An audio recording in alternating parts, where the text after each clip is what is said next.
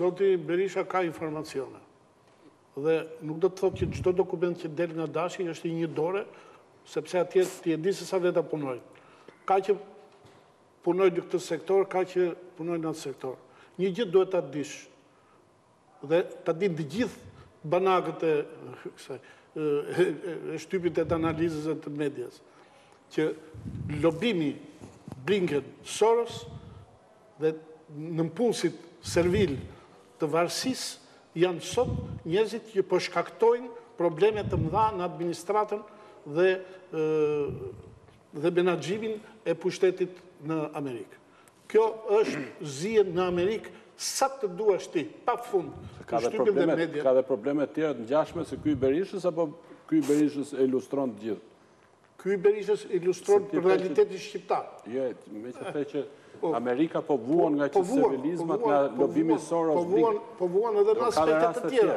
Po vuan edhe në aspekte të tjera. Nazar, po meqë e more fjalën, cili është qëndrimi yt për këtë? Pyetja nuk ka të bëjë në thelb me raportin. Po, po, e kuptoj. Ja, jo të djetë, shko, Berisha... Por, por, më fal, edhe ka një por që është specifike për ty. Këtë dyqëndrimësi duket sikur e ka dhe Edi Rama. Dakor? Po të gjithë kështu veprojnë. Okej, tani fjala për ty. Kjo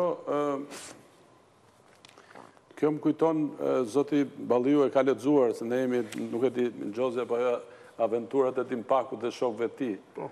Kur Dimpaku në shoqërinë e Xhuxha u bë piktor dhe i bëri nga një i bëri nga një portret gjithë shokëve të vet, dhe kur shkonin ata tek shumë bukur e ke bërë, ta zëmë Fahriun, shumë bukur e ke bërë zonjën Hajdarmataj, kur shkonin te portreti i vet, nuk e ke bërë mirë, nuk më ngjan, domethënë, është ekzaktësisht e njëjta gjë, kur ata preken... Por asë si shtë ju morët një shembull brilant,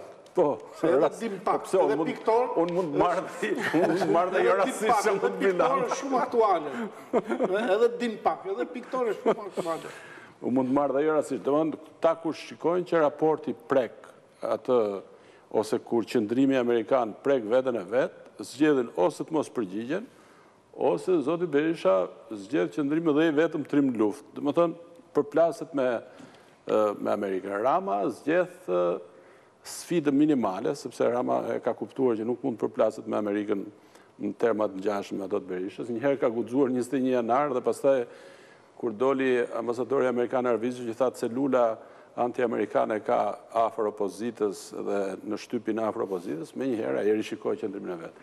Kështu që kjo dyqëndrimësia apo disaqëndrimësia është e njohur në politikën shqiptare, nuk është nuk është diçka e re domethënë.